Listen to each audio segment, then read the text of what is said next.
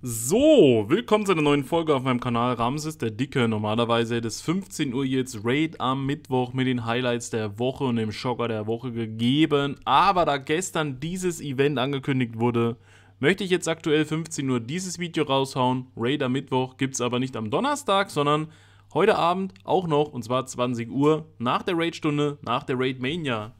Beim Event, wie Tag und Nacht, erwarten euch zu jeder Tageszeit sensationelle Pokémon. Jetzt ist also Berlin Tag und Nacht in Kooperation mit Pokémon Go und das ist richtig brutal. Noch brutaler ist nur, wenn man am Ende des Textes hier sieht, da ist auch noch das Team Go Rocket was zurückkehrt, denn das wurde als Grafik ja schon angekündigt, habe ich im Community Tab geteilt, genauso wie wenig später dann eben die Event-Grafik zu dem Tag- und Nacht-Event. Das sind zwei Dinge, die gleichzeitig gefühlt losgehen, obwohl das Team Go irgendwie ein Stück eher losgeht und das andere geht ein Stück später los und deswegen müsst ihr jetzt genau aufpassen, genau zuhören. Wir fangen trotzdem oben an, also. Das Berlin Tag und Nacht Kooperationsevent. Freitag, der 16. Juni, 10 Uhr bis Sonntag, den 25. Juni. Das geht also neun Tage, eine ganze Woche von dieser Woche Freitag bis nächste Woche Sonntag, das ist auf jeden Fall massig Zeit. Notiert euch das, Freitag 10 Uhr, Eventbeginn. Irgendwie ist 10 Uhr immer Eventbeginn und Raidboss-Wechsel, aber der Raidboss-Wechsel diesmal von Vesprit zu Anego ist ja schon am Donnerstag. Also Donnerstag 10 Uhr ist der Raidboss-Wechsel vom Mega-Raid, vom 5er-Raid. Am Freitag 10 Uhr ist aber Eventbeginn. So, nicht durcheinander bringen, nicht, dass ihr euch wundert, wann kommt denn Anego, warum ist Anego schon da hin und her. Wilde Pokémon tagsüber. Die folgenden wilden Pokémon erscheinen tagsüber häufiger. Ladybar, Kramurks, Sonnenfell, Driftlon, Felilu, Strawiggle, Baumball, Lilminip und Imantis. Imantis neu als Shiny. Ladybar brauchst du nicht, Kramurks ist ein guter Flug oder auch Unlichtangreifer. Sonnenfell brauchst du nicht, Driftlorn brauchst du nicht, Felilu, Strawiggle, Waumball, Ilme brauchst du alles nicht, Imanis brauchst du nicht. mein Highlight wäre also Kramurks, wer noch Bonbons braucht. Ansonsten, wenn ihr für die anderen Bonbons braucht, nehmen die auch mit. Imantis, neu als Shiny, wird wieder gejagt, wird gesuchtet und es gibt es vor allem in der Wildnis. Nicht irgendwo in Raids oder Eiern in der Wildnis. Mit etwas Glück könnt ihr sogar den folgenden Pokémon begegnen, Hisui Sneebel. Und das ist für mich das Highlight der Highlights, denn Hisui Sneebel gab es bisher ja eigentlich nur in einem Event aus 7 Kilometer Eiern, was ich damals verpasst habe, deswegen mir vom Henry mal ein Exemplar tauschen musste. Da jetzt wieder gucken auf männlich, weiblich, Bonbons machen, Hunderter jagen, wäre auf jeden Fall krass, weil das ja auch eine eigene Kategorie dann hat im Pokédex für die Hisui-Region, die Weiterentwicklung das ist besonders. Das haben wir jetzt bei äh, Myriador gehabt. Also von Baldorfisch die Weiterentwicklung, der kam jetzt auch zu, ne, zu, einem der letzten Events plötzlich wild. Das heißt, wer dachte, man hat es verpasst, kriegt es jetzt halt hinterhergeworfen, ohne dass man Eier brüten muss, ohne dass man teure Maschinen kaufen muss. Finde ich gut. Hisui Sneebel, also tagsüber mein Highlight. Imantis, Jagd, auch genial. Wilde Pokémon, nachts. Mirapla, Weberak, Traunvogel, Lunastein, Skungapu, Doxibet, Pignon, Paragoni, Imantis und mit etwas Glück Sneebel. Das normale Sneebel. Ähm, kann alles shiny sein, bis auf Paragoni. Paragoni, aber in der Superliga ein richtig gutes Pokémon, was man nutzt. Skungapu kann auch nicht shiny sein. Nicht irritieren lassen jetzt. Ansonsten finde ich nachts die Pokémon, glaube ich, nicht so krass wie tagsüber. Was macht man hier damit? Nix. Imantis ist auch nachts da, das heißt, er ist Tag und Nacht da. Kann man tagsüber fangen, kann man nachts fangen. Sneebel normal, also Sneebel als Eisangreifer, Unlichtangreifer, hat was.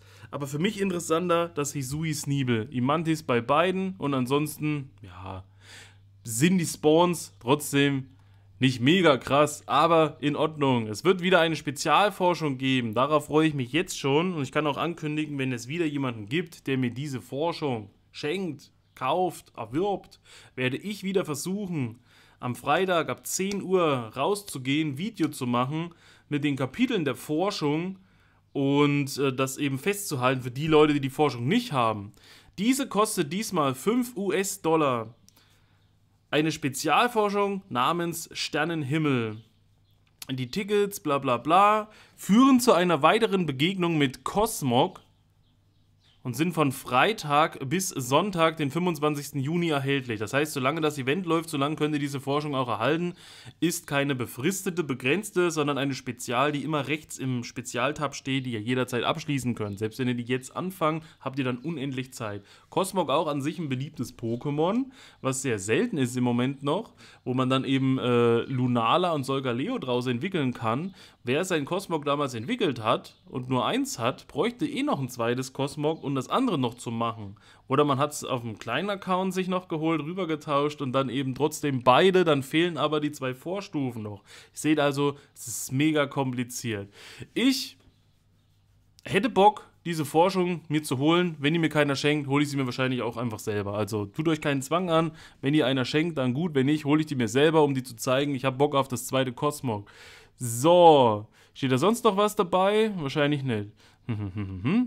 Webstore. Webstore, ich habe bisher noch nie in den Webstore geguckt, muss ich sagen. Da gibt es eine Sonnenwende-Box.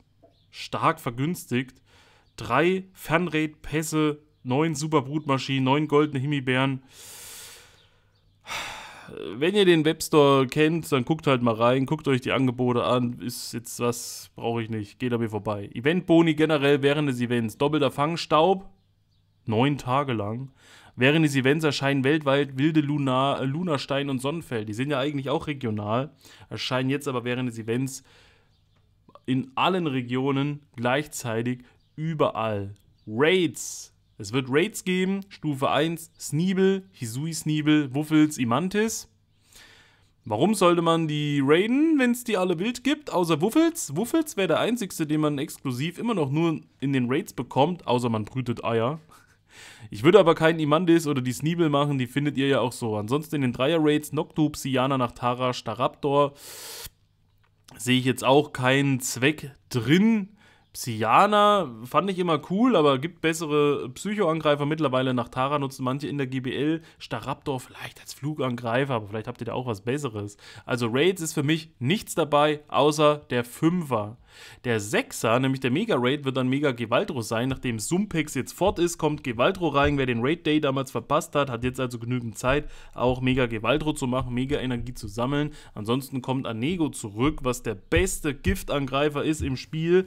Eine Ultra-Bestie mit Einführung als Shiny. Da würde ich vielleicht sogar richtig draufgehen auf das Teil, weil das eben mega stark ist und cool aussieht, gerade auch als Shiny. Dieses Weiße mit dem goldenen Rand gefällt mir sehr gut. Ob da der Raid-Bus durch Dortmund rollt oder wie auch immer, weiß ich nicht. Oder man anders gucken muss. Raids für Zuschauer. Lohnt sich das? Vielleicht. Ansonsten ist das ja lange da, hoffe ich, dass man ein bisschen was machen kann. Pokémon bei Feldforschungen. Es gibt zum Event wie Tag und Nacht passende Feldforschungen mit Imantis. So, gibt es also aus Raids, gibt es Wild, gibt es aus Forschungen, vielleicht sogar aus Eiern. Von Eiern steht hier nichts. Sammlerherausforderung. Es wird auch wieder eine Sammlerherausforderung geben, wo ihr Staub ähm, Stau bekommt und auch nochmal eine Begegnung mit Imantis. Das war alles zu diesem Event. Und jetzt kommen wir zum Rocket-Teil, der wohl für die meisten sowieso wichtiger ist und interessanter ist. Team Go Rocket ist zurück. Von Mittwoch, dem 21. Juni, bis Sonntag, dem 25. Juni. Das heißt, nicht diesen Mittwoch, weil das wäre noch vor dem Event. Mitten in dem Tag- und Nacht-Event startet dann ab der Hälfte also noch das Team Go Rocket Event. Ihr fangt also am Freitag an mit dem Event am Mittwoch nächste Woche kommt dann das Rocket-Event dazu und alles endet am Sonntag. Wir wissen ja momentan gibt es Regi Ice bei Giovanni. Jetzt wechselt er, dass ihr dann Regi Rock bekommt, wie hier auch zu sehen. Rettet Regi Rock als Krypto. Krypto Regi Rock also, wer das braucht, kann sich's holen. Einmal würde ich es mir sowieso holen, dass man eben jedes Krypto-Pokémon einmal hat. 100er Regi Rock habe ich schon, brauche ich also nicht. Ist mir also auch egal, wie gut die IVs sind. Einmal wird er geholt, sicherlich auch dann ein Video dazu gemacht, wie ich meins abhole und wie gut das ist. Das Besondere, hoffe ich, Frustration, ja, steht dabei. Team Go Rocket erscheint häufiger bei Pokestops und in Ballons, kennen wir ja. Ihr könnt eine Lade-TM verwenden, damit ein Krypto-Pokémon die Ladeattacke Frustration vergisst. Viele haben sich ja beschwert, dass letztens die Mewtwo-Raids waren, Krypto Mewtwo da und die Mewtwo's nutzlos sind, weil die alle Frustration haben und man das nicht verlernen kann. Alle warten also immer, bis ein Rocket-Event kommt, um dann mit einer normalen Lade-TM Frustration zu vergessen und die ursprünglichen Moves durchzugehen. Für Spukball und Psychostoß braucht ihr aber trotzdem eine Top-Lade-TM, weil das eben Legacy-Moves sind, die ihr sonst nicht kriegen könntet. Da habe ich einiges an Mewtwo's und auch an anderen Krypto-Pokémon auf der Hand gesammelt, wo ich das auf jeden Fall anwenden muss. Tipp nochmal, geht auf die Lade-TM, dann kommt ihr in die Pokémon-Suche und gebt in der Pokémon-Suche Add Frustration ein. Das zeigt euch alle Pokémon, die die Attacke Frustration haben. Und dann könnt ihr die einfach anklicken, wechseln, anklicken, wechseln, anklicken, wechseln, anklicken, wechseln. Wenn ihr erst auf das Pokémon geht, dann ein Item auswählt, dann die Lade-TM, dann bestätigt und dann wieder im Menü seid und dann wieder ein Pokémon. Das dauert viel zu lange, viel, das hört auf damit. Geht auf das Item, dann sagt es euch, wo, auf welches Pokémon willst du es anwenden Add Frustration eingeben, zeigt dir alle, die Frustration haben. Und dann klickst du nur noch in dieser Liste, zack, zack, zack, zack, zack, die einzelnen Pokémon an, bei denen das dann verlernt wird. Geht auf jeden Fall schneller. Natürlich werden auch wieder die Krypto-Pokémon durchgewürfelt. Es kommen neue Krypto-Pokémon dazu. Die Bosse werden ihre Pokémon wechseln. Die Leader, sagen wir mal. Es gibt dann natürlich auch neue Shiny Krypto-Pokémon. Ob das alles dabei steht, wissen wir nicht. Mir blickt ein, was hier ein, was fällt mir ins Auge, und zwar Krypto-Kaumalat. Team, die Team Go Rocket Rübel und ihre Anführer setzen jetzt andere Krypto-Pokémon ein. Bla bla bla, mit etwas Glück auch anderen schillernden Pokémon. Welche die jetzt sind, wissen wir noch nicht. Müssen wir dann mal gucken. Hm, hm, hm, hm, hm. Ja, das ist halt nur eine kleine Auswahl. Krypto Alola Kleinstein, Krypto Ladybar, Krypto Capoeira, Krypto Charmian alles nicht so krass, aber Krypto Kaumalat wird auf jeden Fall mega interessant. Ob der dann ein Bodenrüpel ist, ob der dann ein äh, Drachenrüpel ist oder ob der vielleicht bei Cliff Alo oder Sierra rumhängt und dadurch dann auch direkt shiny sein kann, das sehen wir dann. In den 12 Kilometer Eiern tut sich auch noch ein bisschen was. Es kommt nämlich auch noch neues Shiny dazu. Und zwar diese Pokémon können derzeit nur aus 12 Kilometer Eiern ausgebrütet werden. Garnoville, Gladiandri, Skalyk, Pampam und Mulung. Ja. Also Lavita ist weiter drin, Absol, Pionskora, Garnoville, da warte ich ja auch mal, ob der mal einen C-Day bekommt. Zurukeks, Gladiandri, Skalyk, Kapuno, Bam Iskala, Algit, Molung. Molung, wer noch kein weibliches hat, freut sich vielleicht, mal eins zu bekommen. Pampam jetzt mit Shiny-Einführung. Gab es bisher noch nicht Shiny. Ich habe damals auch einen 100er bekommen, habe ich mich auch mega gefreut, weil der nur da in den, den gab es kurz mal in einer Raids, aber jetzt eben nur über die 12er Eier, jetzt auch Shiny-Einführung bei Pam Pam. Ich bin also gespannt.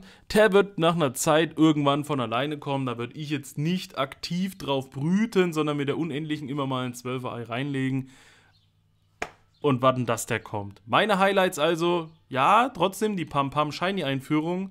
Krypto Kaumalat, mal gespannt, ob der auch Shiny kommen wird und dann eben bei den Bossen rumhängt. Frustration verlernen. Krypto Regirock einmal mitnehmen. Imantis Shiny Hand.